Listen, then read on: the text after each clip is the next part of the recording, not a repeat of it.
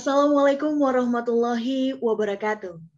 We extend a warm welcome to all distinguished speakers, delegates, health economists, healthcare industry leaders, and policymakers to the 7th Indonesia Health Economics Association Biennial Scientific Meeting, and this year's BSM is titled Protecting People, Lessons from the COVID-19 Pandemic, Health Economics Point of View.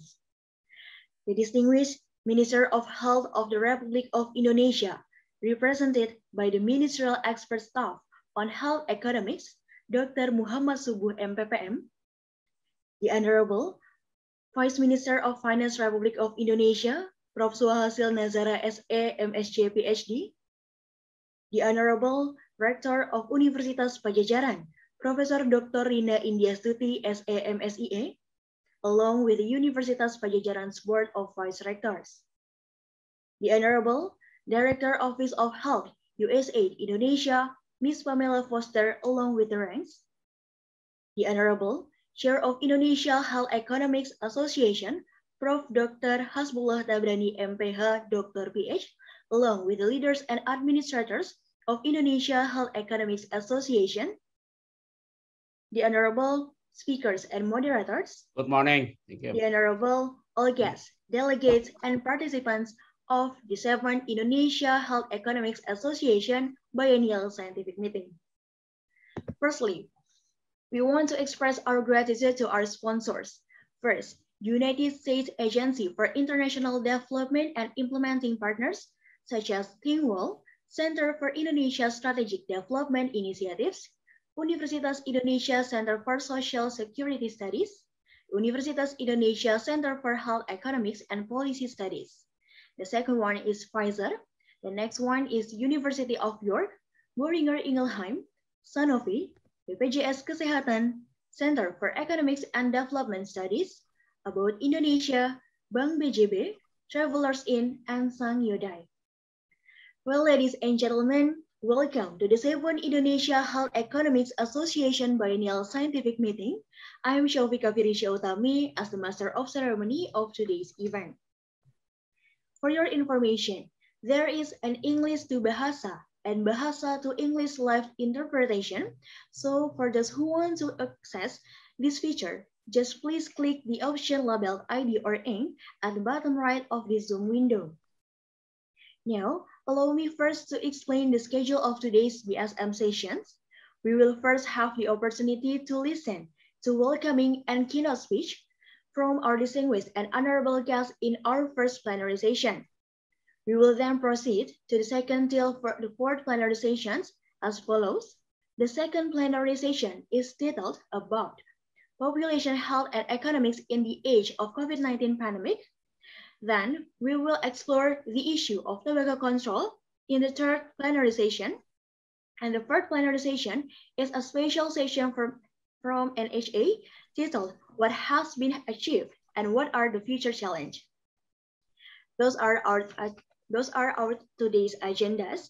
And ladies and gentlemen, we will now move open the first plenary session with a welcoming speech from the chair of Indonesia Health Economics Association to Prof. Dr. Hasbullah Tabrany, MPH, Dr. PH. The time is yours. Thank you, Moderate uh, MC. Assalamualaikum warahmatullahi wabarakatuh. Uh, good morning. Uh, my God bless all of us. Good evening, wherever you are. Good morning, Ibu Pam. Uh, good morning, Ibu Rector and everyone. I I might not be able to uh, mention uh, one by one um, because I couldn't see everything.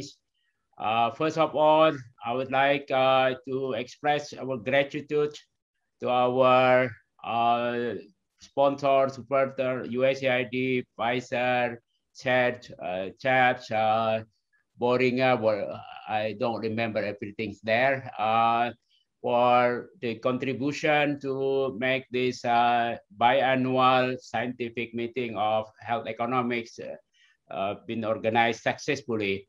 Um, second of all, I would like to uh, welcome all of you participants, speakers uh, um, from all over the world. I don't know uh, where you are. Um, for your attendance uh, today, for your uh, great sharing today. Uh, and the next couple of days, unfortunately, we are organizing this event in the situation where we are in the, still in the COVID control pandemics. Um, otherwise, we will be enjoying uh, a lovely city, a beautiful city of Bandung. I've not been there for quite some time. Yeah, I, I hope now it's better with the more control of uh, COVID.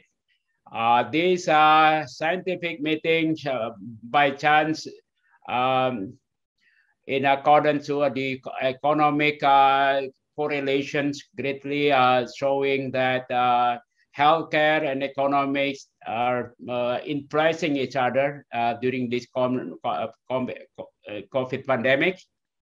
We can see in, in Indonesia, our uh, GDP is contracted last year 2.1%, well, 2 2.1%, uh, meaning that more than uh, 300 trillion rupiah. That's that's kind of a direct economic loss. Uh, in addition to that, there are a lot of losses uh, that we are suffering from unemployment, from uh, all other um, indirect effect of this COVID. Uh, not to mention, we lost most, uh, almost 150,000 uh, life for this from this pandemic COVID. That's a clear indication the correlation between health and economics are strongly correlated each other, uh, influencing each other.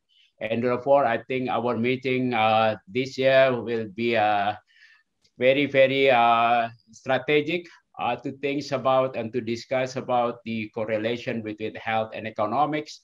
We know that um, the both uh, health and economics been studied uh, for quite some time uh, the influence of health to economic growth and economic to health uh, prosperity influencing each other.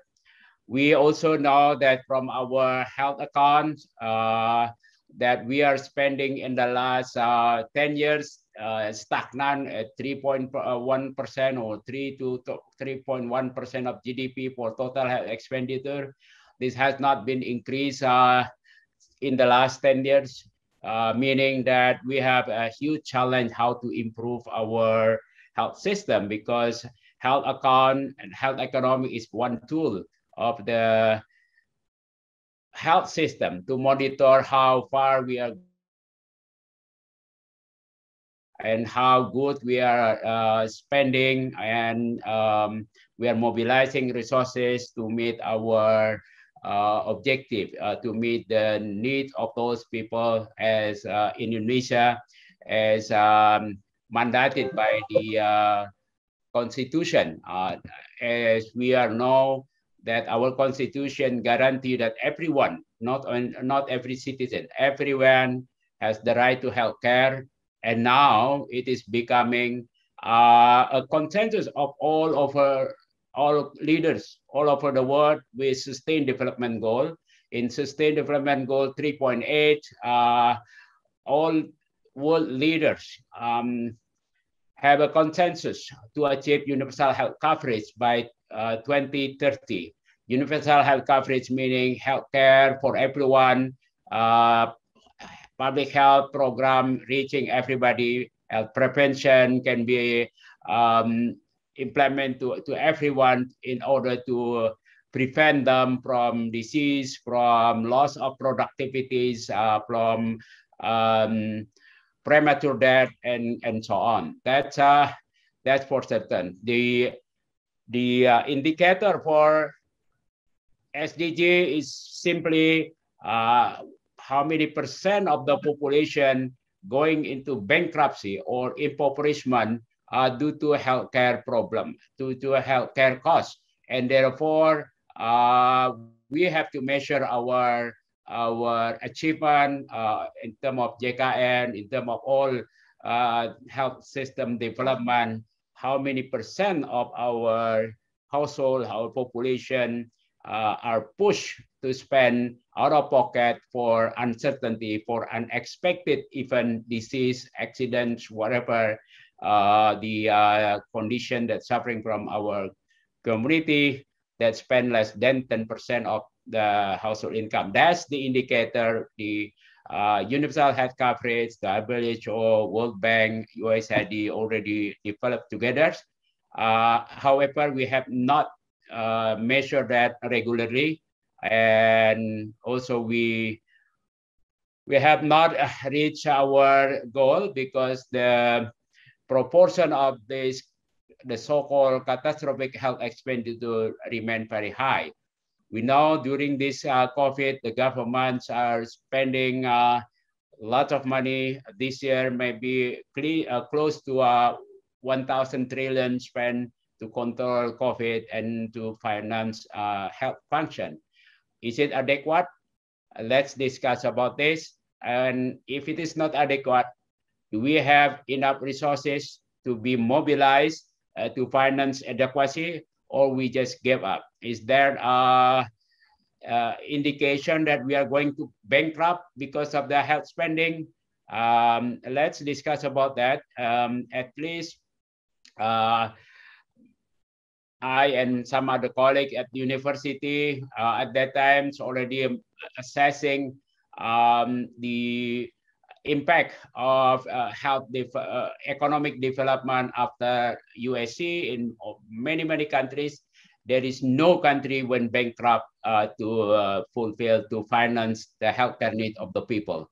Uh, in fact, uh, most countries after introducing universal health coverage have continuous improvement in, in increased per capita income. Uh, so that's uh, a good macroeconomic correlation that I think we have to discuss to convince our all of us that we are moving ahead because we are uh, our system is currently underfunded.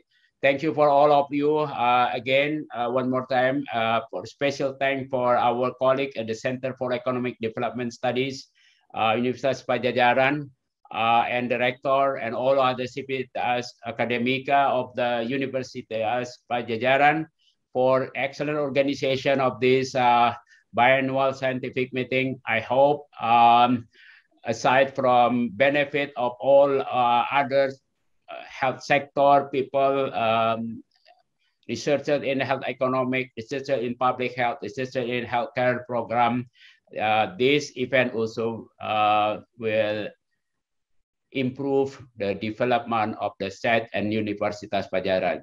Uh, thank you of all. Uh, my God bless us all. Thank you. Assalamualaikum warahmatullahi wabarakatuh. Good morning, good afternoon, good evening, wherever you are. Thank you. Back to them. Thank you MC. to Prof. Tabrany for giving welcoming speech. And the second welcoming speech will be delivered by the Director Office of HAL USAID Indonesia. So please welcome to the Zoom, Ms. Pamela Foster. The time is yours.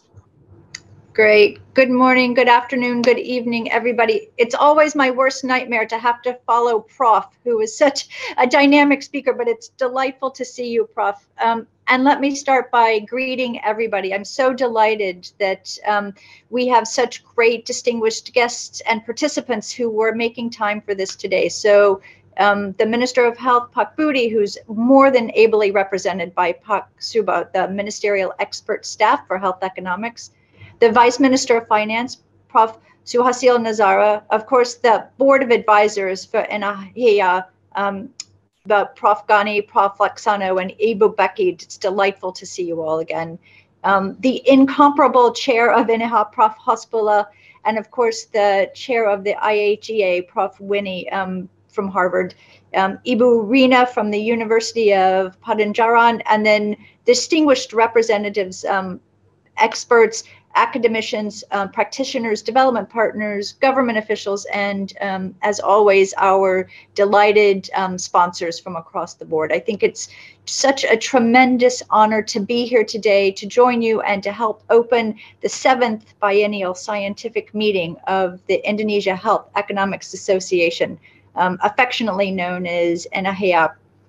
Let me start by congratulating the committee. Out of all of the challenges of you know the past year the opportunity to hold this meeting is great but Um, let us not underestimate the burden and the um, the logistics for doing a fully virtual event. I uh, I share Prof's wish that we could all be together in Bandung. It's been far too long. Um, as the MC said, I'm Pam Foster, and I'm the director of the health office here at USAID in Indonesia. As many of you know, the United States Agency for International Development is the US government's international development agency. For over 70 years, we've partnered with countries around the world to overcome obstacles that impede development and growth. Um, and during the past sort of 15, 18, 20 months um, since the pandemic was first recognized, uh, USAID Indonesia has been privileged to be able to provide over 1 trillion rupiah in COVID related assistance. And this builds on over 14 trillion rupiah in health related assistance over the past 20 years. Um, I think for all of its challenges, and each of us can speak to personally and professionally how many there have been. Um, from one perspective, COVID 19 has given us many opportunities and indeed, may I say, a mandate to, to, to rapidly evolve, to improve processes to adapt policies and accelerate reform for better health outcomes, both on the service delivery side, the access side, and of course, most importantly for our discussions today, the, the policy and the financing piece. I'm really looking forward to joining the different sessions that will take place over the course of this uh, of the scientific meeting, looking at economic recovery during the COVID-19 pandemic. Um, as Prof capably noted, the economy here has taken a real hit, um, not only in the macro level, but at the micro level. And um, looking at how we address that going forward will be an crucial discussion. I think looking at health policy and health system strengthening, uh, looking at social protection in response to COVID, and then, of course, uh, JKN and how we make sure that access to health services is there and that protection for catastrophic out of pocket expenditures is there and that it makes sense for um, for health providers as well. At USAID, we are committed to a participatory approach in optimizing health systems to reach their full potential. None of us can do it alone. Only by working together can we accelerate progress towards building health systems that are more resilient, more capable of advancing preventive, promotive, and curative care. To realize these ambitious but quite realistic goals in Indonesia, USAID has remained committed, and I would like to reiterate our steadfast commitment to supporting the Indonesian government as we continue to build and strengthen a robust and sustainable health system. In particular, we believe in investing in and developing Indonesia's enormous wealth of human resources including students and professionals, so that more Indonesians can benefit from improved health um, and improved healthcare advances. We do this in a variety of ways, and I'm fortunate to have worked with many of you in these discussions before. But clearly, one of the most important is through our health financing activity, um, which you will also hear referred to as HFA in the English acronym. Um, we work together with the Ministry of Health and a range of other partners to strengthen the ability to produce and then use data in the policymaking process. An evidence based approach to decision making not only improves the efficiency of financing and domestic spending on health, it improves strategic health purchasing processes and optimizes the performance of health workers. All of these are particularly crucial for the government to address as it faces both the health and economic burden of providing health care as a result of and during the ongoing COVID 19 outbreak. Certainly, a key element of informed decision making is having a connected community of trained health economists that policymakers can rely on to generate and analyze the data. Since 2014, the Indonesian Health Economics Association has attracted hundreds of national, regional, and international participants. This knowledge sharing forum ensures that Indonesia will continue to have a network of highly trained academics, practitioners, and rising health economists to help design health financing policies in years to come and of course continue to monitor and adapt as the needs change. Through HFA, USAID is honored to participate in this prestigious and informative conference. It's truly a pleasure to be able, in even some small way, to contribute to the growing community of practice. Of course, I'm very proud to note that HFA's work will be showcased in sessions throughout the biennial scientific meeting. And I really look forward to and encourage your robust participation, of course, in these sessions, but in all of the sessions. It's a unique opportunity to really learn, discuss, debate, challenge, reflect, um, and benefit from the state of the art information that will be presented. Today, in fact, we will conduct a joint plenary with the Ministry of Health on national health accounts.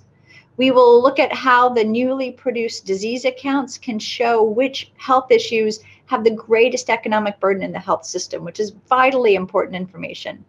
And then we have two satellite sessions on Thursday to share HFA's work on financial modeling for JKN and findings from our private sector analysis. Finally, we hope you'll join us for poster presentations on the cost of providing COVID 19 care. Experts all over the world have acknowledged the achievements of the health system in Indonesia. I congratulate you for this and for this event, and would again like to express my sincere gratitude to the conference organizers and the Indonesian Health Economics Association for making sure that this event is held and is prioritized at this time the networking and knowledge sharing opportunities, while different than in years past because they're not happening over a coffee break or a tea break, but nonetheless are critical and important and will strengthen the health system community and lead to better health and financial protection outcomes for more Indonesians. Let me just close by wishing everyone wonderful discussions. And please, I know it's still tempting to get out and about. Stay healthy, stay safe, wash your hands, wear a mask, and keep in touch. Thank you all very much. And back to you, Bu MC. All right, thank you to Ms. Pamela Foster for giving welcoming speech. And now please welcome the Director of Universitas Padjadjaran, Professor Dr. Rina Indiastuti SAMSEA to deliver her welcoming speech and the time is yours. Um, uh, thank you, uh, uh, Syaufika. Assalamualaikum warahmatullahi wabarakatuh. Eh, selamat pagi, selamat siang, selamat malam, good morning, uh, good afternoon, good evening. All sir and madam, the Honorable uh, Minister of Health of the Republic of Indonesia, as represented by the expert staff in health economics, and Honorable Prof. Hasbullah Tabrani, Chair of Indonesian Health Economics Association, and Ibu Pamela uh, Foster. Good morning, Director Office of Health USAID uh, Indonesia, and Honorable Vice Minister of Finance, uh, Republic of Indonesia, Prof. Suhasil Nazara, and Vice Minister of Finance, Republic of Indonesia, Dr. Uh, Muhammad Subuh, MPPM, and uh, of course, uh, Honorable Deputy Director of BPJS Kesehatan, and uh, my colleague, the heads, directors, and deans within the Universitas Pajajaran, faculties and entities of Universitas Pajajaran, and other guests. All praise and thanks to the Allah for the blessings. So today we are able to attend the uh, seventh uh, biennial scientific meeting in uh, InaHEA that organized uh, by Center of Economics and Development Studies, CEDS, of Universitas Padjadjaran. Thank you uh, for Pak Adiatma and team. And also thank you for uh, Young Health Economics and Policy Society. Uh, ladies and gentlemen, uh, uh may I uh, share screen now? Okay.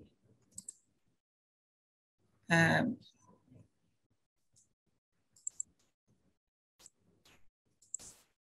I, I don't, uh, I cannot uh, share screen. It's okay. Uh, maybe given the uh, host, co-host. Yeah, thank you. Uh, yeah, thank you very much. Okay. Okay, thank you very much.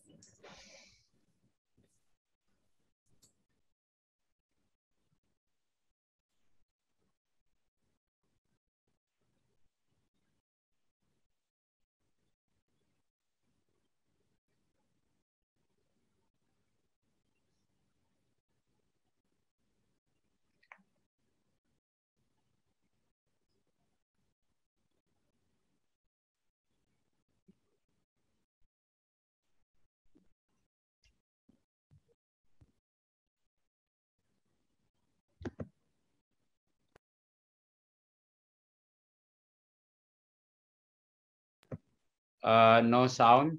Is that only me or?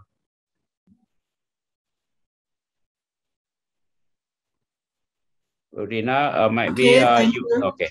Okay. Okay, thank you. Excuse me. Yes, I continue uh, my explanation about the Universitas Pajajaran. Universitas Pajajaran um, now uh, as a, one of leading state university in Indonesia has, uh, of course, attained various institutional achievement and uh, global recognition. As our vision that uh, as a university have a beneficial and uh, globally, we have some uh, example activities such as that in facing pandemic, we have uh, dealing uh, COVID-19 challenges with participating in COVID-19 pandemic prevention and screening such as vaccination program, PCR, testing center, etc. We have also uh, many students that uh, as a medical assistance uh, for the vaccination, that vaccination. Ladies and gentlemen, UNPAD also plays a role in providing health service. One of its health faculties was established in uh, 1960 called the Health Clinic of Universitas Pajajaran. In Indonesia, and in Bahasa Indonesia, we call Klinik Kesehatan UNPAD. Now, we also develop more innovative uh, healthcare services through telemedicine and teledentistry. Of course, uh, we provide health services as a whole, including the dental polyclinic, specialist practice, laboratory, and radiology uh, as a one-stop service through the uh, digital uh, services. Today, this health clinic includes the general health polyclinic, dental clinic, etc. In providing assistance to fight the COVID-19 pandemic in West Java, UNPAD Clinic, Klinik Kesehatan, and another unit, such as in Jabar, have cooperated with KILAB uh, LG to do to uh, assisting swab PCR to increase the testing capacity in Bandung area with someday result. In the next,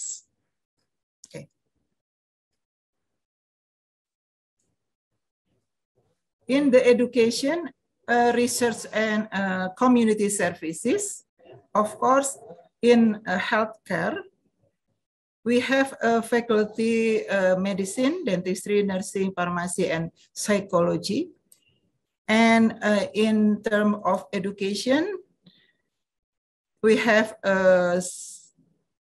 all degree from bachelor, professional or specialist, postgraduate, uh, master, and doctoral. And also we have faculty of uh, medicine, medic, medicine implemented by uh, learning uh, based on the problem-based learning with concept uh, of SPICES, student-centered problem-based learning, community-oriented early clinic exposure, systematic. And in terms of the research, we accounted an increase in researcher and studies to support and provide evidence for improving healthcare.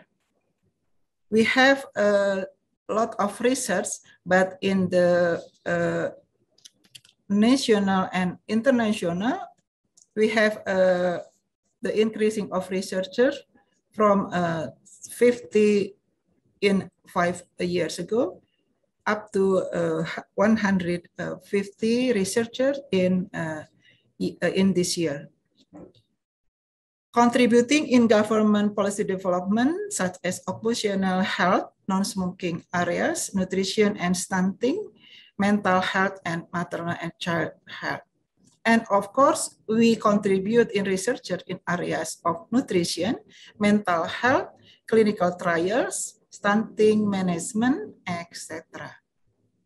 In terms for uh, assisting the people uh, in West Java, we work closely and collaborate with West Java province government to prevent uh, and manage COVID-19 pandemic in healthcare services and socio-economic aspect. Ladies and gentlemen,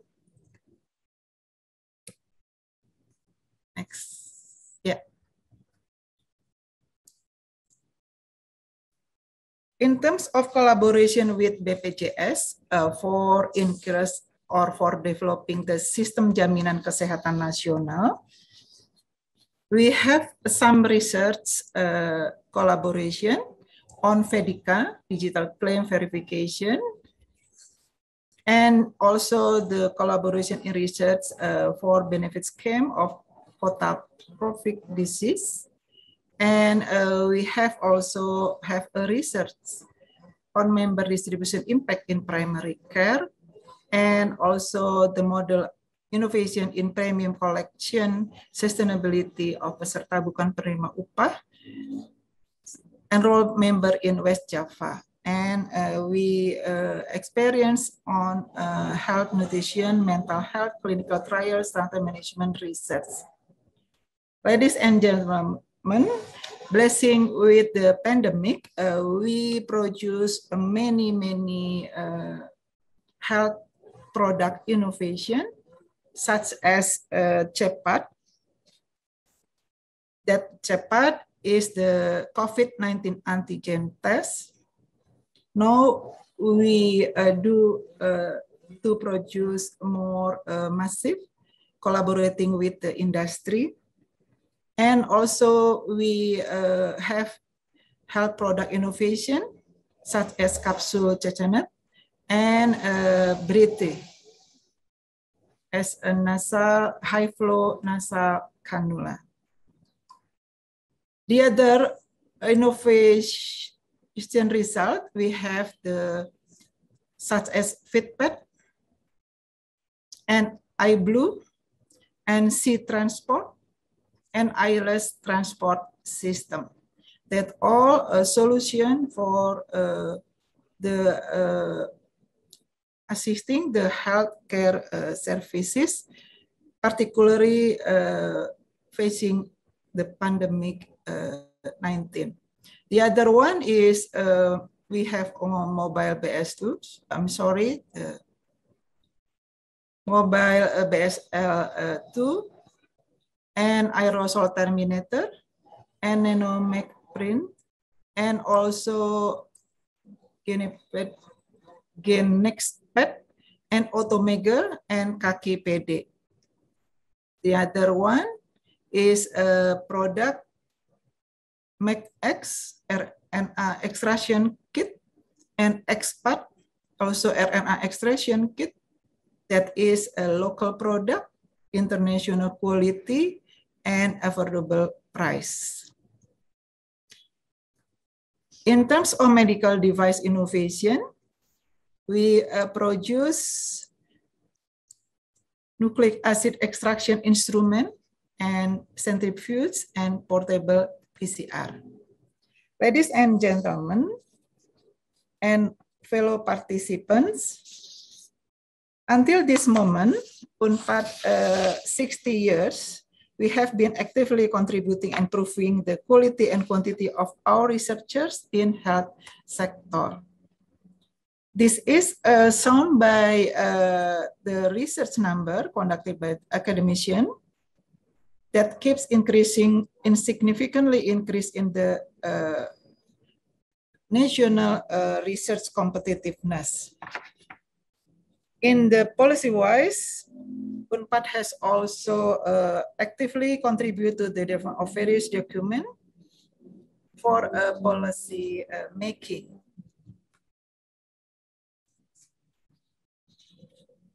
Now we move on the research, some research topic, research and provide insight on regional, national, and global issues, such as the optimization uh, of breast, uh, breastfeeding, and uh, mental health problems, and also on HIV AIDS epidemic, and uh, health policies, and of course, jaminan kesehatan nasional.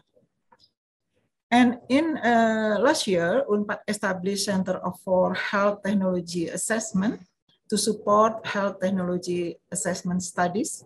The center is comprised of multidisciplinary areas from medicine, pharmacy, psychology, economic, uh, public health, nutrition, etc. And today, uh, most of the our researcher participate in this uh, important uh, uh, forum. They participate in Indonesia Health Economic Association, Association uh, such as uh, this uh, webinar today. Ladies and gentlemen, in our plan uh, to next uh, four years uh, in the future, we commit to improve quality of life as individual and in society through a research, such as to improve the context of independency in disease management which incorporated knowledge from uh, medicine and pharmacy.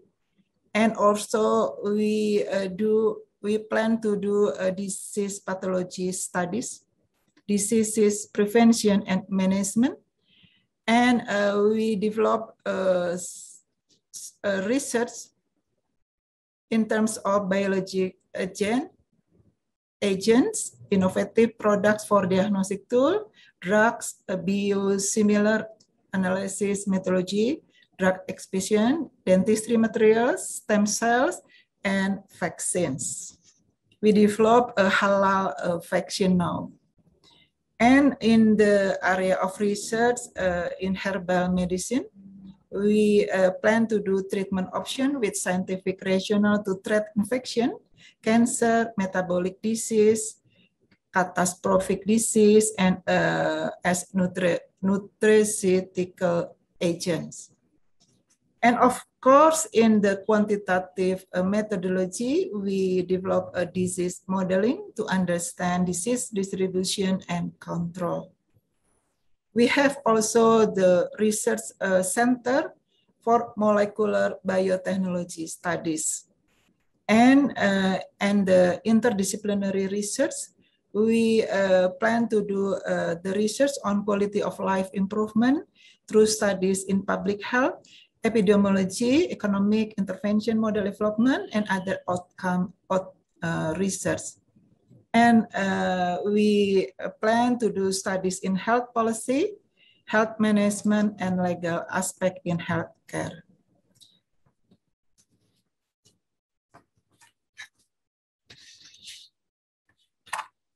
Ladies and gentlemen, uh, all my explanation, of course, we thank you very much for all collaborators to develop uh, many, many uh, research quality and uh, innovative product. that produced uh, in uh, two years ago, since uh, two years uh, since a pandemic uh, COVID-19. My fellow participants, we can say that time flies and UNPAD has contributed to the development of Indonesia for uh, six uh, T4. Health sector has become one of the main focus of UNPAD since its establishment uh, 64 years ago. There has already been a lot of contribution made to this country in the form of education, research, innovations, policy, and community services. Therefore, we are always fully committed to assist and support the health sector in Indonesia to reach a better future, a better life future. To end this, I would like to ask everyone to collaborate and endeavor to improve Indonesia health sector to reach Indonesia Emas in uh, 2045. Uh, Please make the best out of the seven in InaHEA BSM. I hope in the next three days, we can gain no, uh, lot of knowledge, new knowledge, have a good discussion and exchange our minds in looking for a solution and innovation needed by the health sector. Thank you very much. Selamat um, berdiskusi. Semoga Bapak Ibu tetap sehat selamanya. Terima kasih. Wassalamualaikum warahmatullahi wabarakatuh.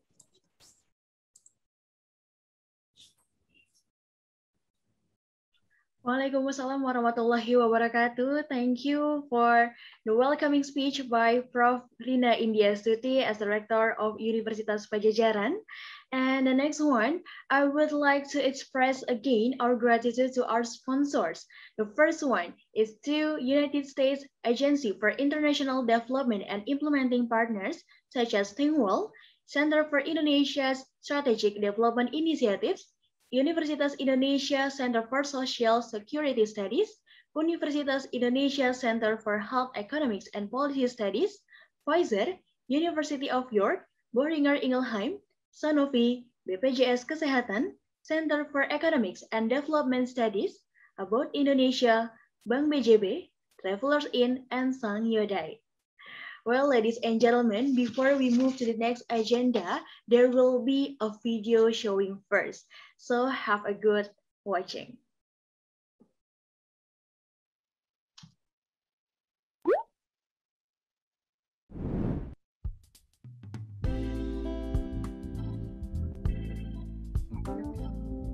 Atau Indonesian Health Economic Association ini uh, kita dirikan ya kita ini teman-teman para para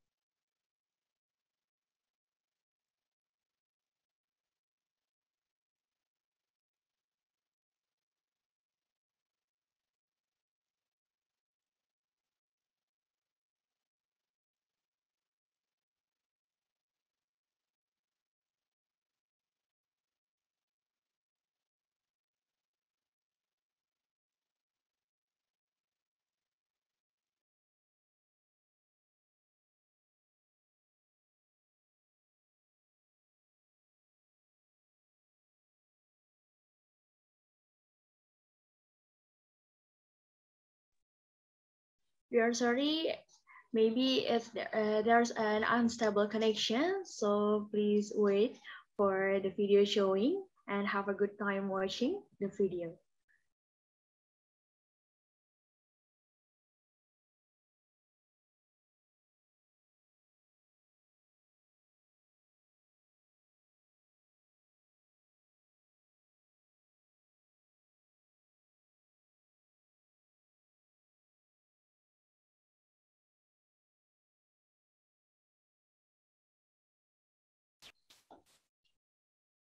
Well, ladies and gentlemen, Now we will proceed to the next keynote speeches.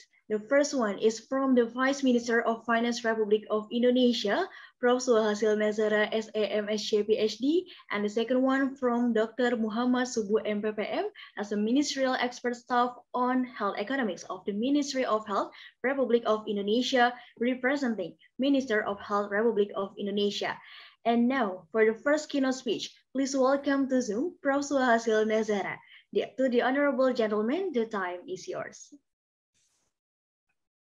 Thank you very much. A very good morning to everyone. Assalamualaikum warahmatullahi wabarakatuh. Uh, Ibu Rektor, selamat pagi. Uh, Bu Rina, uh, saya juga ingin menyampaikan uh, my warm congratulations to Universitas Pajajaran for the 64th anniversary uh, a little while ago. Terima uh, kasih. I believe the University of Pajajaran has been contributing a lot, and uh, Ibu Rektor has just uh, has just uh, explained to us all the University of Pajajaran contribution to the health sector, especially in Indonesia. So, uh, a warm success for the continuous uh, contribution of University of Pajajaran in the future. Terima kasih. I also would like to uh, say good morning to Ibu Pamela Foster from USAID Indonesia. Uh, also, a very good morning to colleagues from the INAHEA and also CHEPS University of Indonesia, Prof. Hasbullah. Uh, and I, who I admire a lot for the consistency and uh, persistence in uh, Indonesian health sector development, continuously providing inputs and also perspectives and views in order to make uh, our health sector uh, improve uh, from time to time. Ladies and gentlemen, all of the speakers and also all the participants of this web seminar, this is, uh, first of all, I would like to, uh, of course, uh, ask you, ask everyone to continuously to praise the God uh, Almighty for the time for the time and health that we still have up to now in the middle of this uh, uh, pandemic. This is a very, very difficult time. This is not an easy time for all of us. And in fact, we can uh, we can say that this is a, a challenge of uh, a challenge of many generations. This is a challenge of the century. This is not only a challenge of one generation. This is a challenge of several generations that we face. All of a sudden, we have a new virus last year um, in fact 2019 uh, end of 2019 and in Indonesia we start to have this virus positive case back in March 2020 so a little a little while one and a half year ago this is not easy and we have seen the ups and downs in this in this pandemic in the daily infections. Uh, daily cases has been ups and downs. Uh, I always think that uh, there are two lessons that we have already learned so far from these uh, ups and downs of this virus. If you look at the Indonesian case on the left, the daily cases uh, on the blue chart, the blue line actually told us that uh, uh, the virus infection is real, it's uh, increasing, it can be increasing, but whenever it is increasing, we are able to reduce it. We are able to reduce it. And we have already shown it several times. Uh, whenever it's increasing, we can reduce it. But there is a very important second lesson from the chart Uh, so far, not only from Indonesia, but also from the world, we know also that whenever it is declining, it doesn't mean that it is going away. It doesn't mean that uh, when, whenever it declined, it doesn't mean that it is on, the, on its uh, way out. It can go up again. So this is something that we have to continuously prepare. This is what actually poses the uncertainties. Whether whenever we have it uh, declining, whether it's going to stay low or it's going to go up again. So that is the challenge of this virus. And of course, to for this for this challenge, we understand that uh, the virus can be reduced, the infections can be reduced by limiting our physical interactions. So that's why we have this uh, Zoom meeting this morning. Uh, University of Padjadjaran can now provide a very interesting Zoom meeting with 230 participants virtually. And we really hope that it, this is something that is a part of our new way of working. This is new way of life uh, more and more virtual more and more virtual interactions. Uh, the including in the university i believe the university of Padjadjaran is also facing such a challenge uh, to continue with the education to continue with the service to continue with the higher education but we would like to make sure that uh, all of our students continue to have their best learning experience virtually. Maybe a little, little while in the future, we can start to combine the virtual learning experience with the physical learning experience. Uh, but it seems that uh, it is very important to, uh, to move to that very cautiously because exactly because of the second lessons what I mentioned earlier. Whenever the virus infections is on the way down, it doesn't mean it is on its way out. It can go up again. And we, uh, therefore, we have to make sure that we put in place the uh, all of the uh, three M's that Indonesia put in place use the mask, healthy living, wash your hands, uh, healthy foods, and, and so on. And also we have to make sure that we have uh, continuously strong treaties, the test, testing, the treatment, uh, the tracing, testing, and treatments. These are becoming the, the, the, the new normal life for us. And it is very important that we understand what happens in the last year or so so that we can continue to find the new ways of working to our future. Now, this uh, the theme of this uh, session, the theme of this seminar, as I understand, is that uh, protecting people Indonesia's lessons from the COVID-19 pandemic health economics point of view. And uh, I'm, I, I was specifically requested to address the issue of strategic purchasing uh, in the, the politics of purchasing in relation to COVID-19. And uh, Ibu Rektor Pak Hasbullah, I would like to twist it, the, twist the, the title a little bit into something like a strategic purchasing uh, in relation to the COVID-19. So, ladies and gentlemen, Ibu Rektor, Pak Hasbullah, and colleagues uh, uh, from uh, uh, who attend this uh, seminar. In the when when we start to understand that the COVID-19 virus is coming to Indonesia, And it, it is actually maybe in the early January 2020, we saw it in Wuhan. And then we understand that uh, inevitably the whole world going to be affected, especially after Wuhan. Then it became, uh, and then we heard stories from, then we heard stories from Italy, uh, very very severe.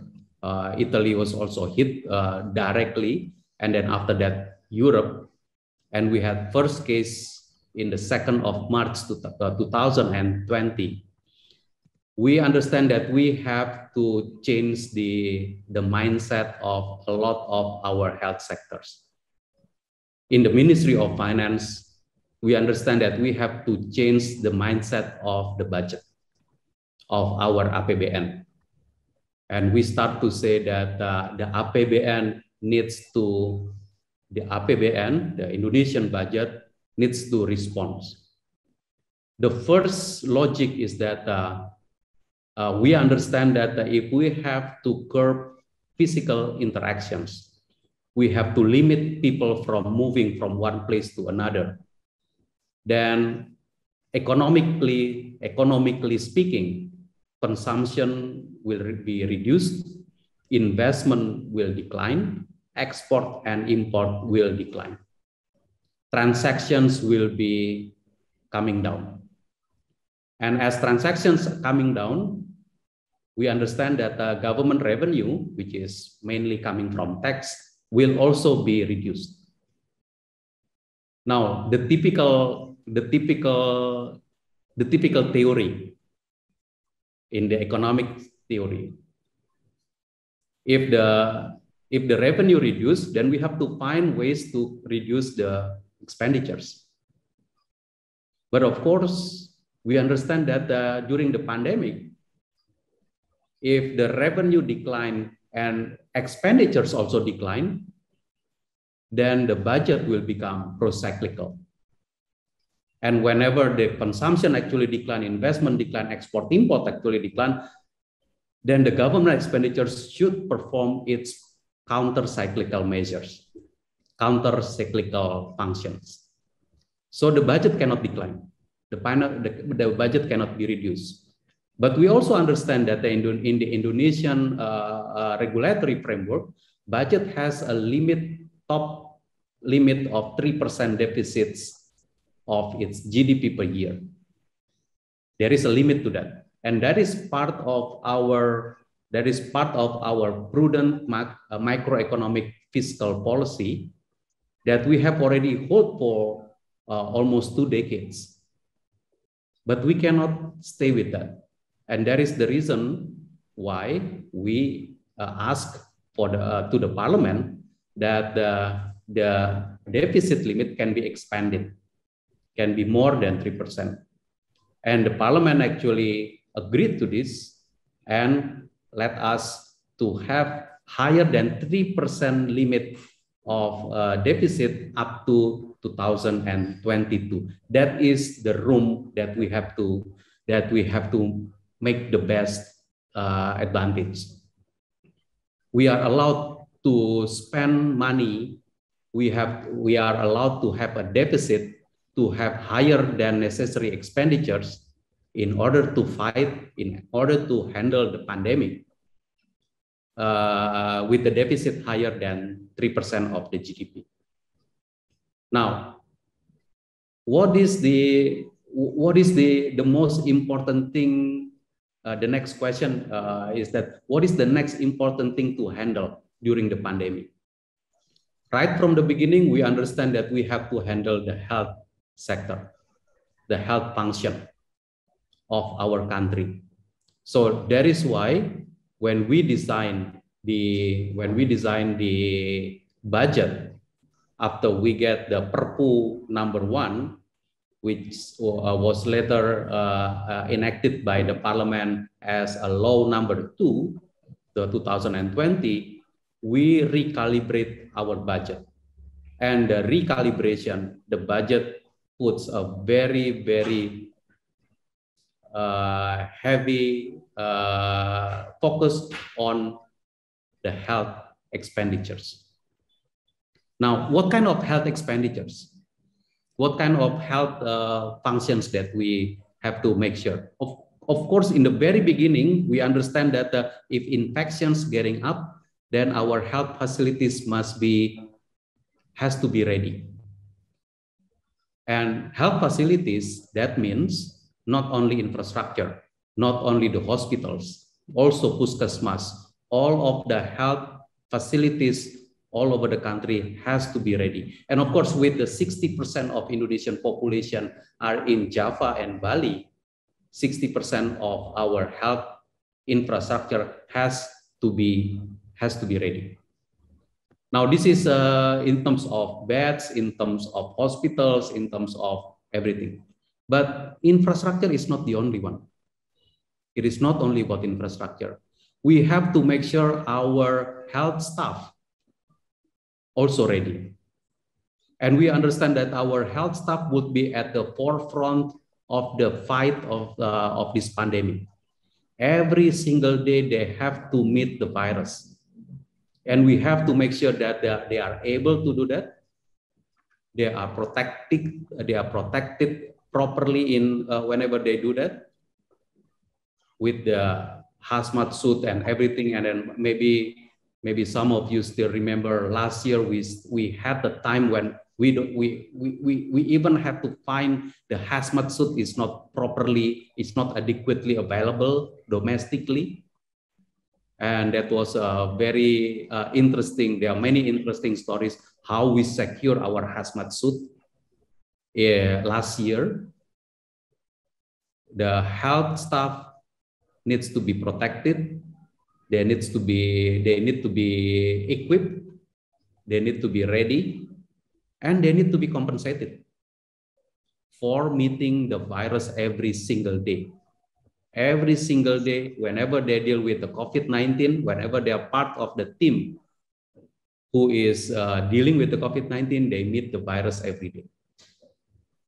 So that is a very very mounting task we understand so uh, in addition to the health stuff, we have to make sure that we have enough, we have enough medicine. We have enough vitamins. And a little several months ago, some of you, I believe all of us uh, also read in the newspaper how we have to deal with the uh, oxygen in the for handling the COVID-19, especially the uh, when we get the Delta variant. And we understand right from the beginning that whenever the vaccine is available, Indonesia must, must have the access to vaccine. We don't want to wait until the vaccine is uh, until too late we must secure our vaccine right from the first time. So this logic, these are the logic that uh, I can share with you that we talk about, we talk a lot in 2020 last year. And in order to do that, of course, whenever we talk about this in March, April, May, we have not seen vaccine whatsoever. There is no vaccine in the world. There are some stories about the order. It, it's available here. It's available there from this uh, maker, from that maker. But we don't. We don't. We we did not have the vaccine just yet. But we understand, Indonesia understand, whenever the vaccines available in the in the in the world, we must have the access to them. We have to buy Import, yes, we will secure the import.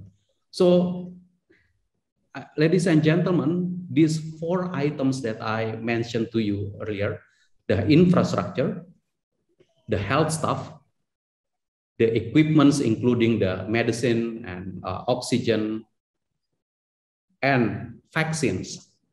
There are four items that I can, I can, I can call it strategic purchase from the Indonesian budget. It's very important that the Indonesian budget understand the needs of the of the health sector in order to protect the people. And 2020 there is no there is no vaccine. But if you look at the 2020 Indonesian budget, we actually budget for vaccine, but it's not yet used, uh, was not used. We had our contract uh, by the end of the uh, 2020 contract to buy vaccine, but we still haven't used the budget in the 2020. So we carried over the 2020 vaccine budgets to 2021. Now we see the budget uh, for the vaccine has been quite big. So last year, uh, that was actually the slide that was uh, uh presented earlier. The total budget for the total budget for health function is about 62, 65 trillion rupiah. This year, with vaccines, improvement of the uh, all the health facilities, the vaccination program, which I will, I will, I will, I will uh, talk a little bit uh, about this after this, is 214 trillion Indonesian rupiah, an increase of three times, three times increase. So whenever Pak Hasbullah maybe in the uh, one of the contribution when Pak Hasbullah was still very active uh, uh, providing guidance to the health sectors regulation and promote that a 5% of the budget should be for health, it's way above 5% already, Hasbullah. Yeah. It's a strategic, it's a strategic move by the by the government because as what President Jokowi always mentions, health of the people is the first priority. Is the first priority. Now, in our system, when we said that, that there are four strategic purchase, infrastructure, health, uh, equipment such as medicine and uh, uh, oxygen and others, and vaccines, when we said that there are four items on the strategic budget, strategic purchase, this is this should happen. This should take place in a system of Indonesia that is very, very highly decentralized. So when I said about the infrastructure, it is not only about the central uh, ministries of health hospitals. There are also hospitals at the level of the province, provincial hospital, RSUD, kabupaten and kota, all the way down until puskesmas, puskesmas pembantu and and everything has to be ready for COVID. When I, whenever I said about the health staff, the health staff is not only the physicians, the nurse from the central government who is on the payroll of the central government, also those are the one with the, on the payroll of the local government it there has to be some synergy there has to be some uniformity there has to be some sort of coordination between central and local government in terms of the hospitals in terms of the health staff including whenever we would like to provide them with them with some extra compensations including whenever we have to manage the medicine the distribution of the medicine the distribution of oxygen oxygenator, and, and so on. And right now, also in terms of the vaccination program, cannot be done only by one single Ministry of Finance. Oh, sorry, Ministry of Health. Cannot be done. Cannot be done only by the central hospital or what we call the RSUP, Rumah Sakit Umum Pusat. It has to be done by it's a synergy of everyone. Right now, we even ask our army and police to conduct vaccinations program. The vaccines are procured come into Indonesia because 100% of our vaccine is still import. We hope that uh, very soon enough, we will be able to have a domestic produced vaccine. But so far, vaccine comes into import as an import. The Ministry of Finance, we uh, we provide the free import duties. We provide free tax for such an uh, vaccine imports. And then the vaccine should be distributed to the province. Some of the vaccine, vaccine has to be processed by the biopharma, a very minimal pro, uh, process actually, but still has to be processed first, then distributed to the province, has to be injected by in the not in the only in the province, but also by the kabupaten kota. And we receive these vaccines in the gradual gradual uh, receipt since January, since December actually, end of December 2020, and January, February, March, April, we start the vaccination program. When we had the hit of the Delta variant, we are still expecting the health staff to provide the vaccination program they are already so busy handling the patients.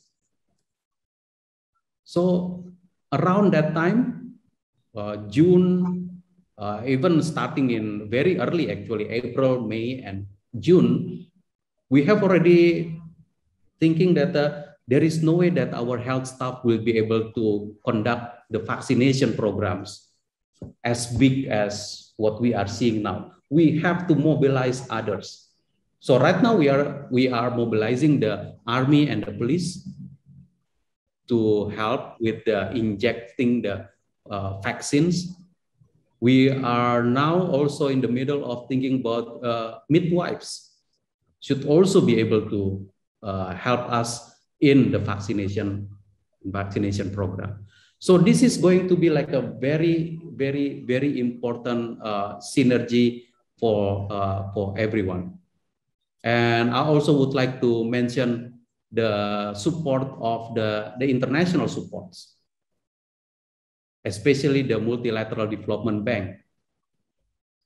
The Multilateral Development Bank, such as the Asian Development Bank and also the World Bank, are the one, uh, also Gavi on the health, the UN, are several that are very, very active in helping Indonesia to get not only financing, but also to get the access to the vaccines. So I think it's a strategic, it's a strategic, it's a very, very strategic purchase for Indonesia.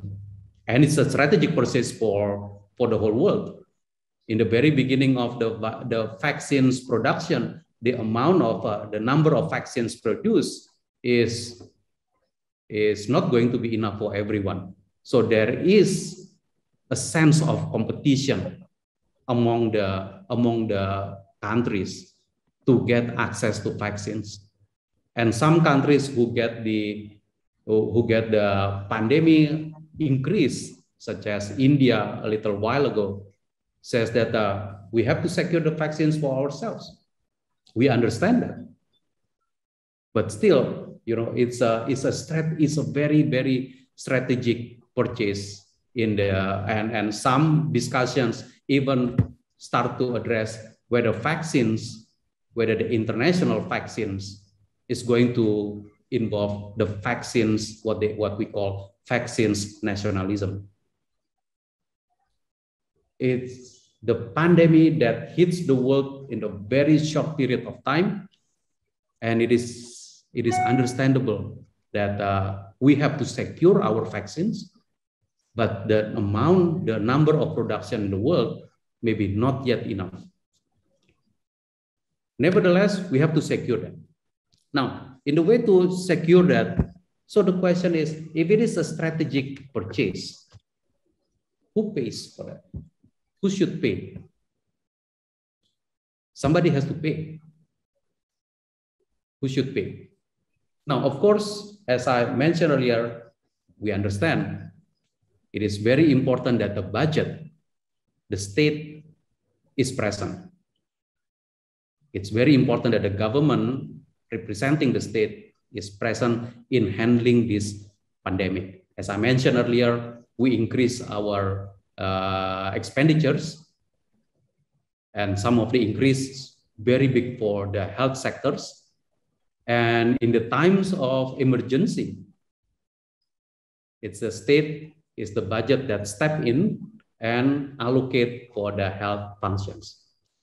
And the allocation is through multiple through multiple channels. It's through multiple channels. Of course, the first logic is that oh, it's the Ministry of Finance or Ministry of Health. I keep on mentioning Ministry of Finance. The first logic, Ministry of Health. Fine, it's important. But it is not only Ministry of, it's not only Ministry of Health. Whenever we talk about the import duty, is the Ministry of Finance. Whenever we talk about, we also deployed our Badan Nasional Penanggulangan Bencana (BNPB), the disaster uh, disaster agency, because they also have the capacity. And I I look at the the schedule. Uh, somebody from the BNPB will also speak in this seminar, very important. We also have Ministry of Industry. Whenever we talk about the lack of oxygen, it turns out that the oxygen is available in certain industries. And Minister of Industries step in saying that uh, I can combine this. I can switch this. Ministry of State-owned Enterprise. Some of the state-owned enterprise not only receiving instructions, but also uh, uh, getting into the hands-on handling this uh, pandemic as well. Of course, BPOM, and also the ministry, even Ministry of Communication for communication uh, uh, among uh, for the narratives, Ministry of Home Affairs, Ministry of Social Affairs for the social protection. I would like, maybe I, am going to miss some uh, one or two ministries not mentioning, but I would like to say that uh, this strategic purchase is not only about health, but in times of emergency like this, budget is stepping in. The budget is stepping in. Now, moving forward, I would like to close this uh, uh, remarks by asking you to discuss maybe later. I would I, would love very much Ibu Rektor Pak Hasbullah if you can also tell us in the government what is the way forward for this. We understand we're going to live with the virus. As I mentioned earlier in this opening speech, when the when the infection is going down, it is not on the its way out. It's going to be there. We just have to make sure that uh, the infections is low enough. Then it will become like a common flu.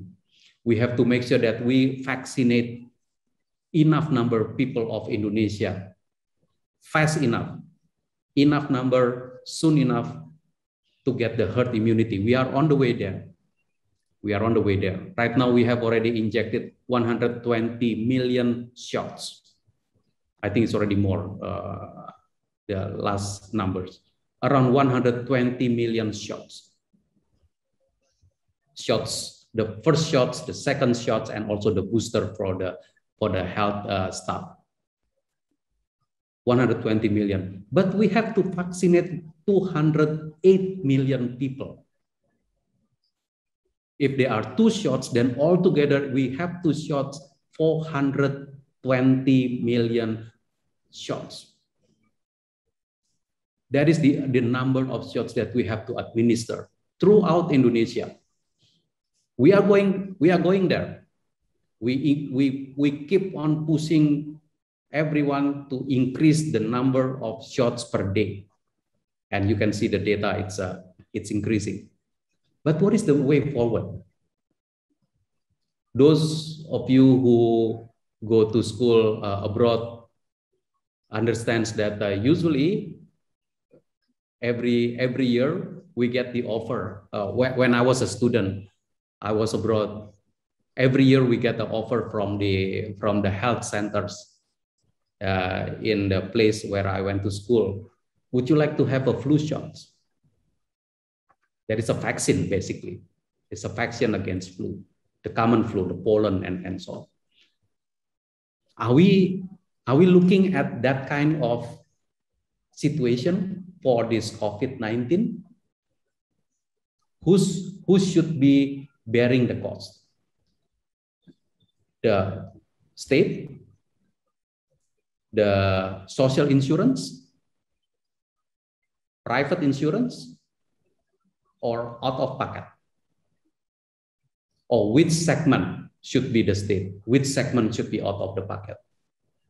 I'm not talking about I'm not talking about the next two or three months. I'm talking about the way moving forward. These are the questions that that may be going to be very very important. The other questions that are going to be very important is that the infrastructure. We have shown ourselves that during the hit of the Delta variant, we can handle. Well, the bed occupancy rate becoming like a 90%, 95%, but we handled that. And we were able to reduce the infection. We have shown the world we were able. Question, to what extent those capacity should we, man, should we maintain in order for our readiness? Because I, as I mentioned in the beginning, when the infection is going down, it's going to stay with us the virus going to stay with us. We have to be ready. And we have already heard the, the virus mutations and, and so on. We have to be ready. And in order to be ready, what kind of readiness that we must we must we must have. These are all the and then the health, of course, the health, not only the health facilities, but also the health, the health equipments, medicine, and so on, and health stuff.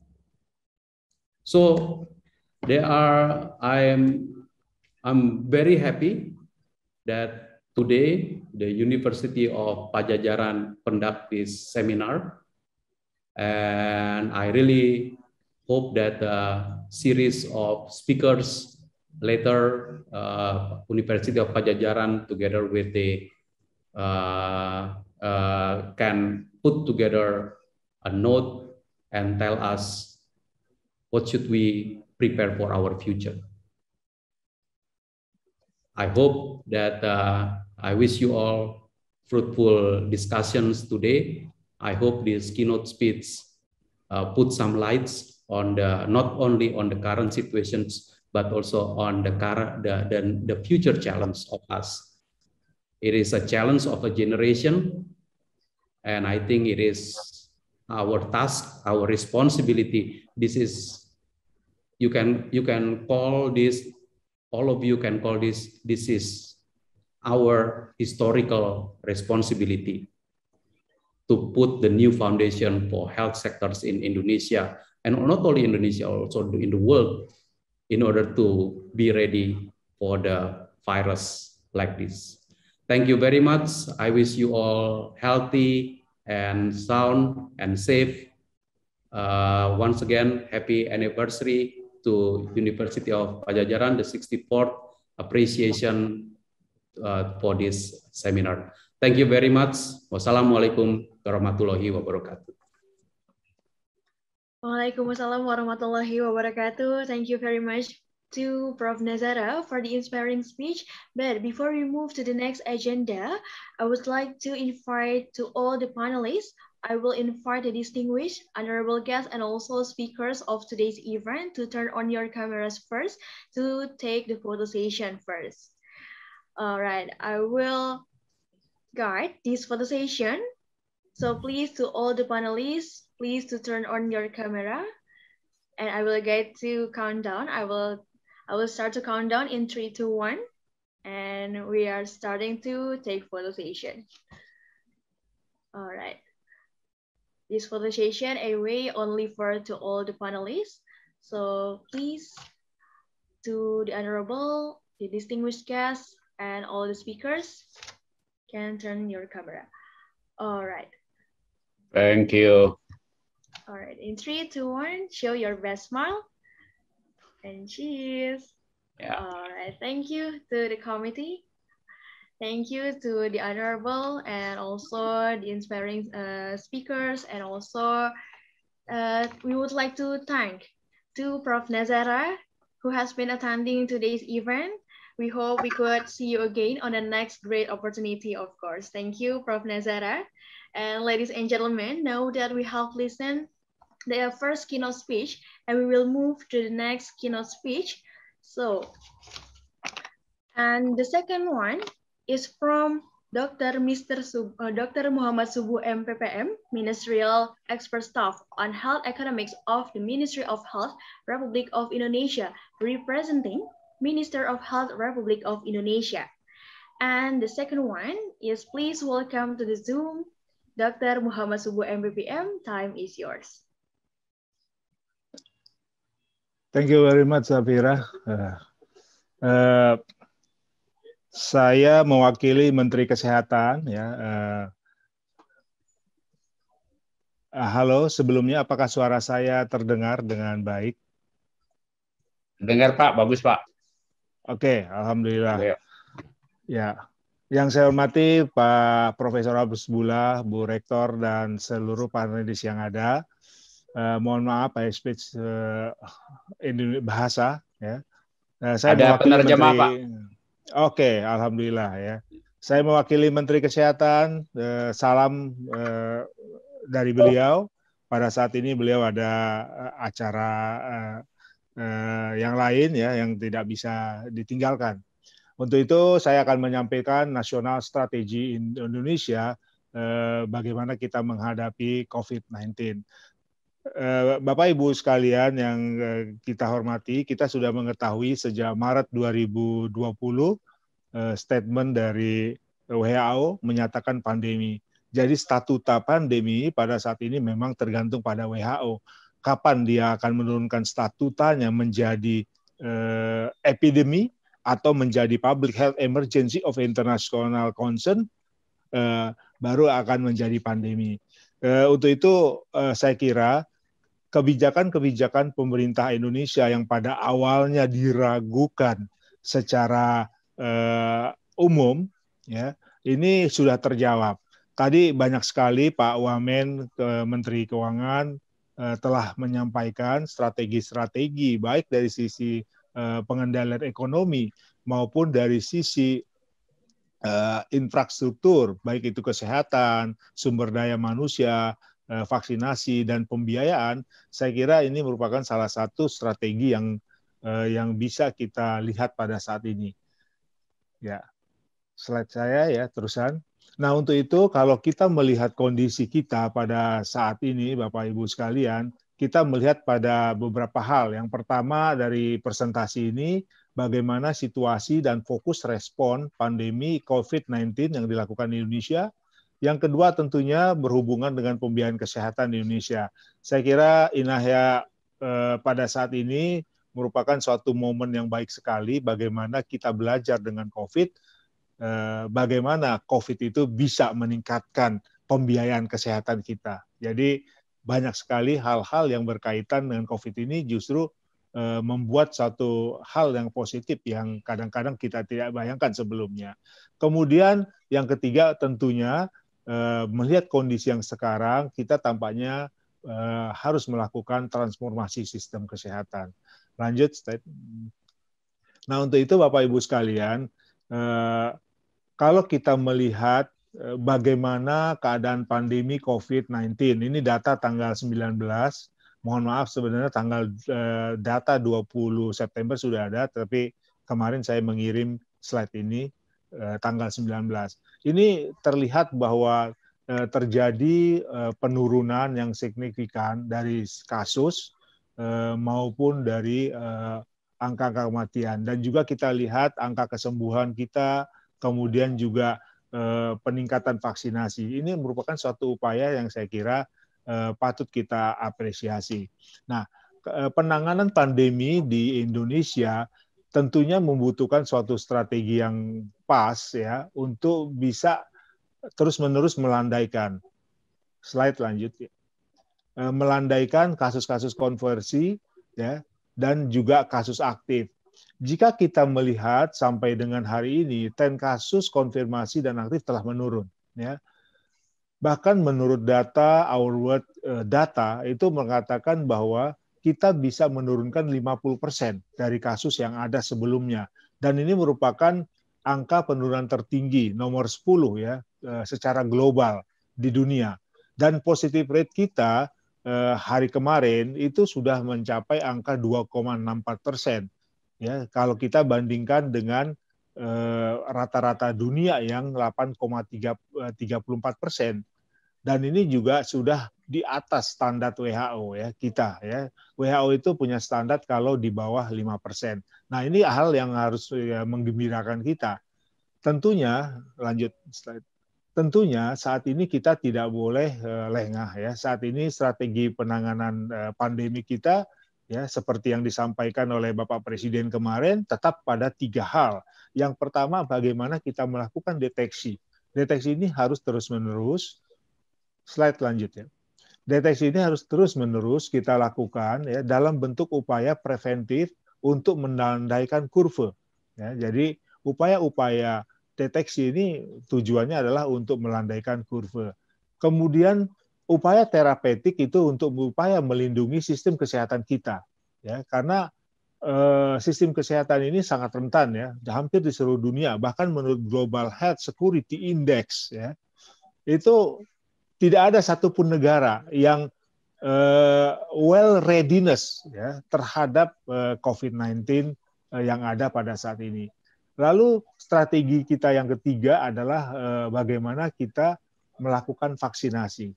Nah, ketiga hal ini harus dibarengi dengan perubahan perilaku di masyarakat. Ini mutlak ya dengan menerapkan saat saat ini kita menerapkan PPKM level 1 dan 4 serta tentunya memanfaatkan teknologi digital dalam implementasinya.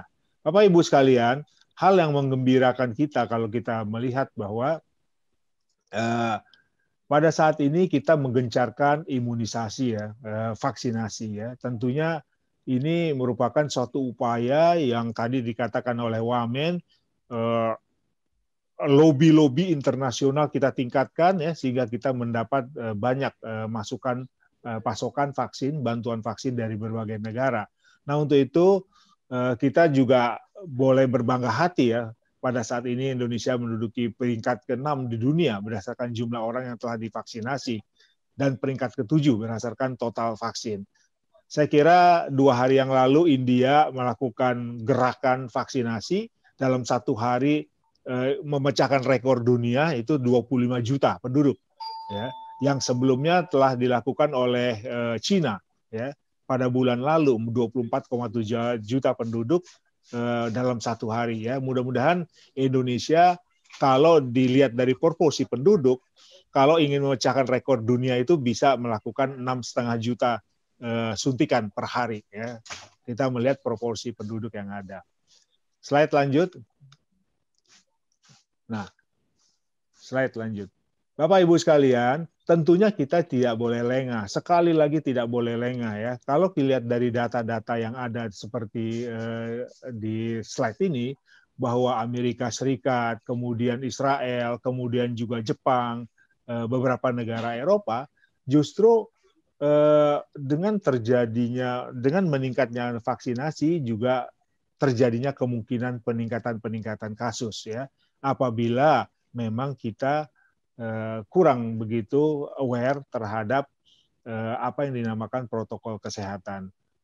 Tentunya dampak penanganan COVID-19 eh, seperti krisis kesehatan, ya, aspek sosial, kemudian juga ekonomi dan keuangan, sehingga perlu adanya penanganan kesehatan menjadi faktor kunci untuk mengakselerasi pemulihan sosial ekonomi.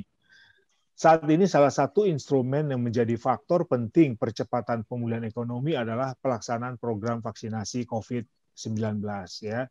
Nah, kalau kita lihat slide lanjut, apabila kita lihat pada grafik tersebut eh, terlihat bahwa terjadi peningkatan lonjakan eh, suntikan ya dan kita juga cukup senang ya sudah bisa melakukan berbagai lapisan umur ya. Tadinya hanya di atas 18 tahun, sekarang 12 17 tahun yang kita lakukan.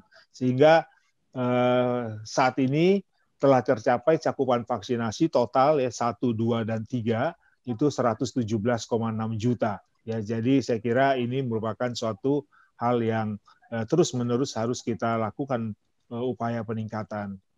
Bapak Ibu sekalian, tentunya Lanjut, tentunya program pemulihan ekonomi sosial 2021 ya eh, berfokus pada lima hal, yaitu yang pertama adalah kesehatan. Anda dapat lihat di sini eh, berapa biaya yang dialokasikan oleh pemerintah, kemudian juga eh, perlindungan sosial, program prioritas, dukungan UMKM dan pembiayaan korporasi dan insentif usaha dan pajak. Sehingga kalau kita melihat total untuk kesehatan sendiri telah dianggarkan sebanyak 176,3 eh, triliun. Ini merupakan suatu angka yang saya kira eh, dalam sejarah termasuk yang paling tinggi ya eh, anggaran biaya kesehatan selama ini. Lanjut, kebijakan pemerintah dalam pemulihan ekonomi nasional dan sektor kesehatan dengan memfokuskan pada health security preparedness, preparedness ya, health security preparedness. Percepatan pemulihan kesehatan akibat COVID-19 dan penguatan program generasi unggulan serta penguatan sinergi koordinasi pusat dan daerah dan juga reformasi JKN. Lanjut. Nah, Bapak Ibu sekalian, tentunya eh, lanjut saya slide ya. Tentunya kita melihat bahwa kalau diberikan amanah eh, dana yang sedemikian besar, tentunya sektor kesehatan mempunyai suatu strategi utama, ya. Dengan ya, yang pertama kita lakukan adalah kebijakan strategis APBN dengan mendukung akselerasi pemulihan dan eh, transformasi yang memperbesar anggaran kesehatan untuk mengatasi perkembangan COVID, yaitu melalui program vaksinasi nasional. Jadi dari biaya yang demikian besar, memang Eh, bertumpu kepada eh, pembiayaan untuk vaksinasi. Slide lanjut. Ya. Ya, lanjut ya. Ya.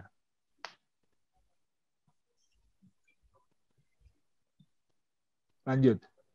Program PEN eh, adalah eh, rangkaian kegiatan untuk pemulihan perekonomian nasional yang merupakan Eh, bagian dari kebijakan keuangan negara yang dilaksanakan oleh pemerintah ya untuk mempercepat penanganan pandemi COVID 2019 eh, dan eh, untuk menghadapi ancaman yang membahayakan perekonomian nasional. Saya kira ini telah dijelaskan oleh Pak Wamenku tadi ya secara panjang lebar. Bapak Ibu sekalian, khusus untuk pembiayaan kesehatan, tentunya kalau kita melihat slide lanjut, komparasi belanja kesehatan terhadap BDB di negara ASEAN pada tahun 2018 ya. Jika dilihat pada grafik belanja kesehatan Indonesia terhadap PDB ini belum lebih baik ya daripada negara-negara ASEAN. Ini tentu saja e, merupakan suatu perhatian kita di mana Indonesia menegati peringkat tiga terbawah ya sedikit lebih unggul dari e, Brunei dan Laos ya. Nah ini eh, fakta-fakta e, yang ada dan proporsi total belanja terhadap PDB juga masih rendah, 3,1 persen. Indonesia belum bisa meningkatkan proporsi belanja terhadap PDB secara signifikan dibandingkan eh, negara lainnya di Asia, serta termasuk terendah di ASEAN. Ini berdasarkan data WHO eh, pada tahun 2017. Nah, kalau kita melihat lagi ya berdasarkan data, lanjut saja slide-nya. Ya. Lanjut. Ya. Kalau kita melihat eh, data nasional health count, ya ini menarik sekali ya. Dan terima kasih teman-teman eh, Kemkes dan juga eh, apa akademisi ya, yang mendukung nasional count tahun 2019 terjadi peningkatan dua kali total pembiayaan kesehatan dari tahun 2012 dan 2019. Nah, total belanja kesehatan sebesar 490,3 triliun yang berasal dari belanja kesehatan publik sebesar 255,5 triliun atau 52,1 persen dari belanja publik ya paling besar ya. Dan e, kita bandingkan dengan belanja non publik yang hanya sebesar 234,8 triliun 47,9 persen. Jadi lebih banyak e, e, belanja kita bertumpu pada belanja kesehatan di publik. Nah, tentunya pada saat ini lanjut terjadi peningkatan anggaran kesehatan yang cukup signifikan ya dari tahun 2016-2021 terutama pada tahun 2020 karena adanya pandemi COVID-19 ya, yang diindikasikan untuk memberikan insentif bagi tenaga kesehatan penyediaan alat tes COVID dan lain-lain ya. Belanja-belanja COVID. Jadi meningkatkan juga belanja uh, anggaran kesehatan uh, pada saat ini ya. Untuk itu eh, kita perlu eh, melihat eh, strategi pembiayaan kesehatan kita. Lanjut ya.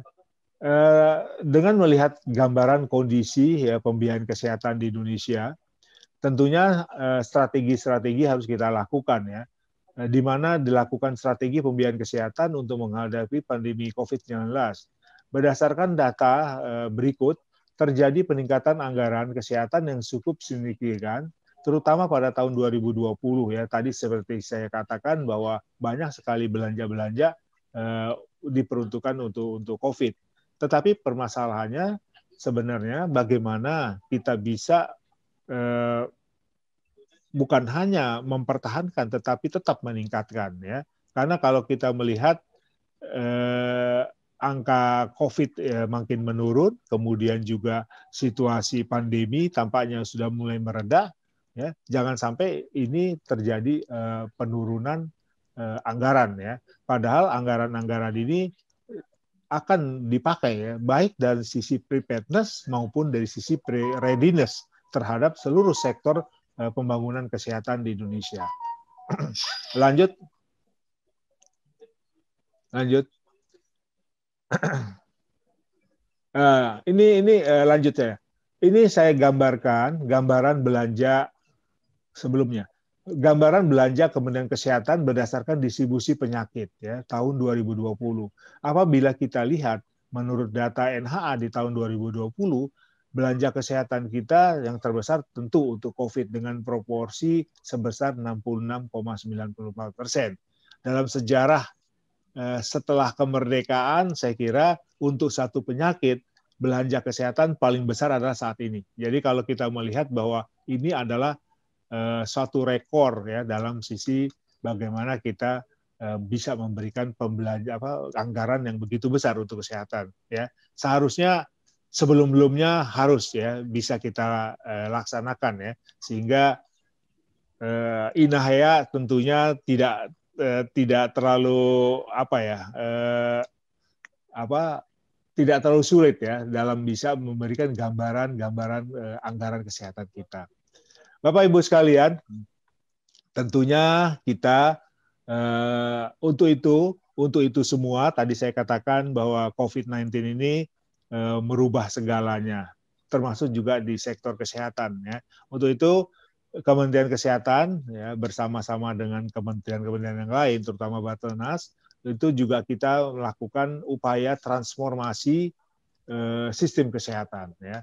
Transformasi sistem kesehatan di mana eh, peran sektor kesehatan dalam pencapaian SDGs eh, eh, SDGs maupun akibat adanya pandemi yang dirasakan oleh masyarakat global maka dapat eh, kita eh, tidak dapat kita hindari lagi bagaimana eh, pembangunan global dan nasional yang terpengaruh dengan adanya COVID ini.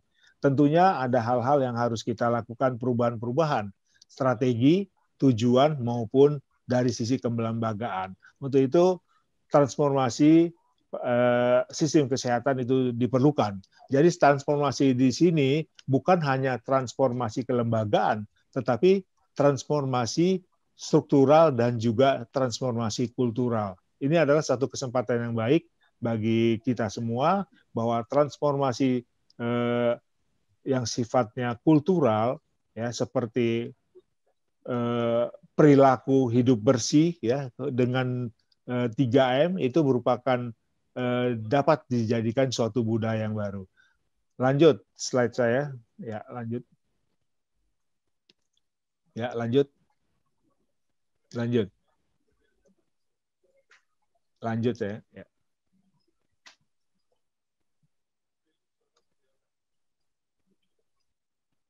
Ya, lanjut.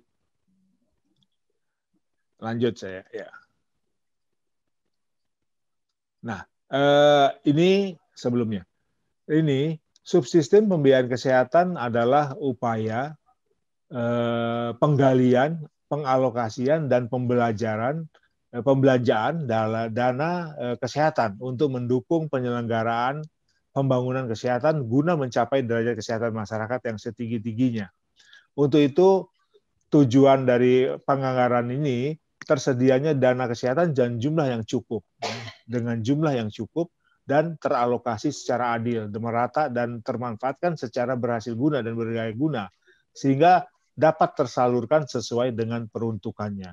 Nah, untuk itu Bapak Ibu sekalian, eh, kita ya menghadapi ya eh, hal-hal eh, masalah kesehatan yang persisten ya Indonesia bukan hanya mengalami double burden, tetapi juga multiple burden tentang masalah kesehatan.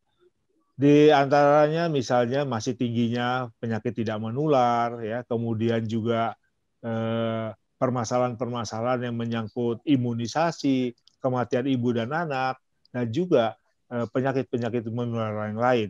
Tentunya ini memerlukan suatu strategi yang sangat-sangat baik ya uh, dalam menghadapi multiple burden ya yang dihadapi Indonesia di sektor kesehatan. Bukan hanya kita melengkapi sumber daya manusia atau obat-obatan atau uh, apa menye, uh, apa menyediakan infrastruktur yang uh, uh, apa yang cukup untuk kesehatan tetapi juga kita harus mempunyai sistem yang kuat ya. Sistem kesehatan kita yang kuat ya. Sistem ketahanan kesehatan kita yang kuat, ya, sehingga kita bisa mengantisipasi seluruh eh, kejadian-kejadian eh, eh, di sektor kesehatan ya, termasuk pandemi pada saat ini.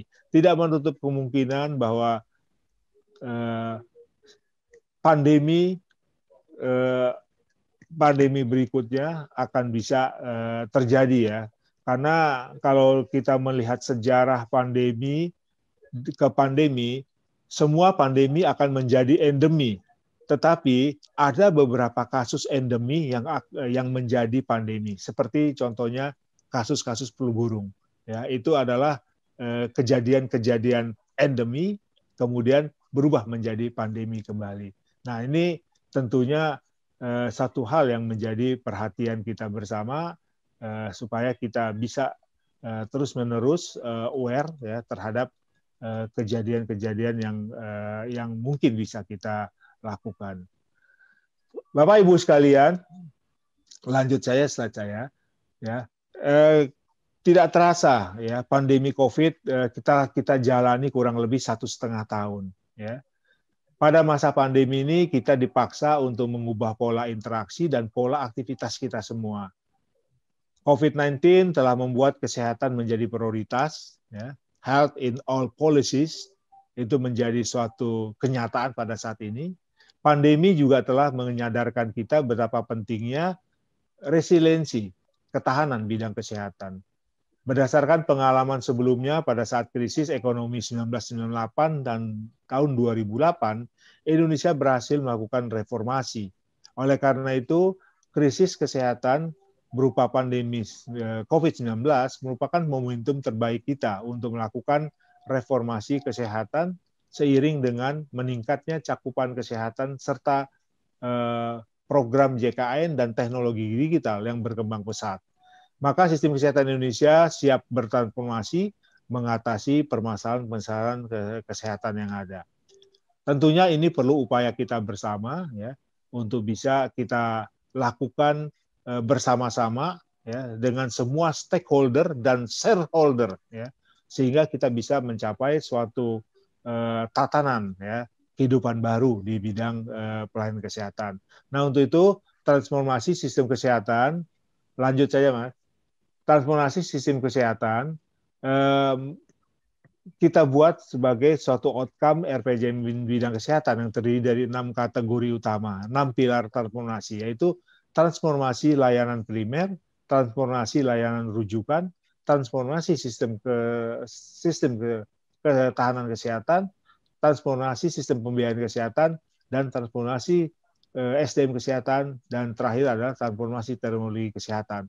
Jadi pembiayaan kesehatan merupakan salah satu outcome dari transformasi sistem pembiayaan uh, kesehatan.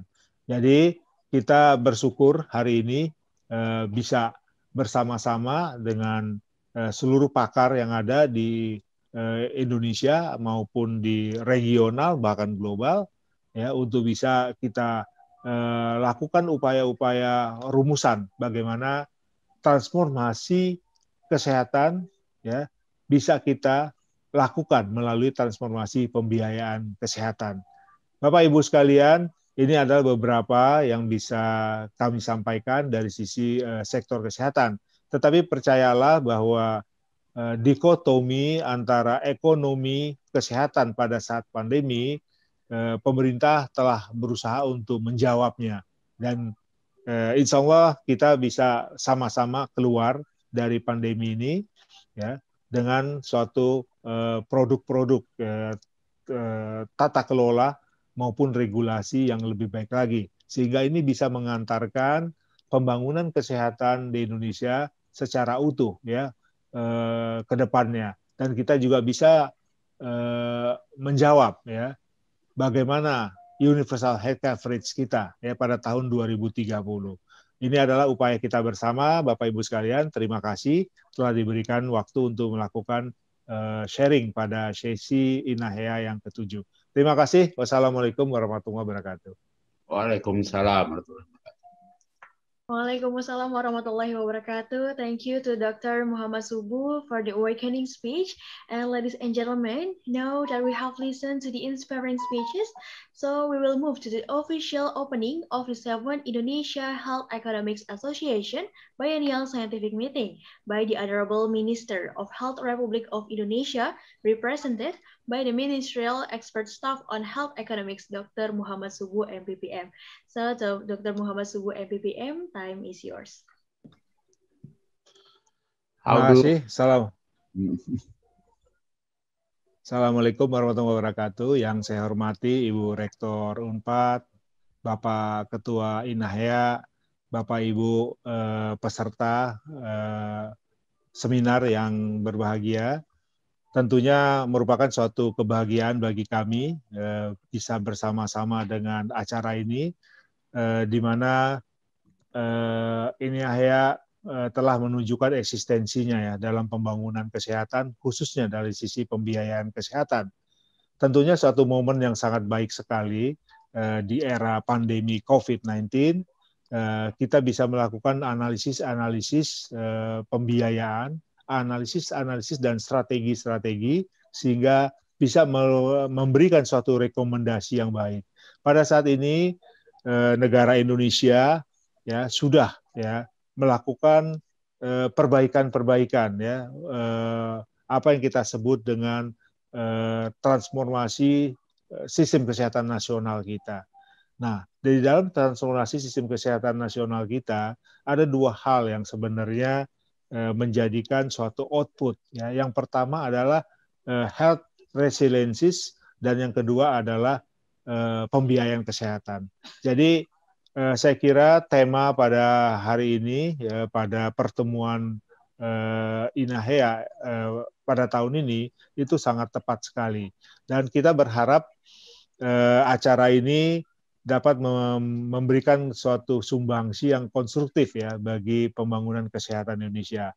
Terima kasih sekali lagi sebenarnya segala upaya yang dilakukan oleh teman-teman Inahea dan juga eh, berbagai sektor untuk bisa terus-menerus ya memberikan suatu pemikiran, suatu sumbangsi terhadap pembangunan kesehatan di Indonesia.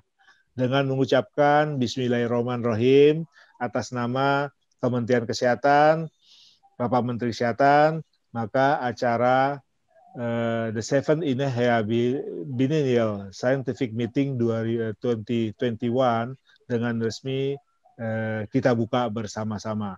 Terima kasih. Assalamualaikum warahmatullahi wabarakatuh.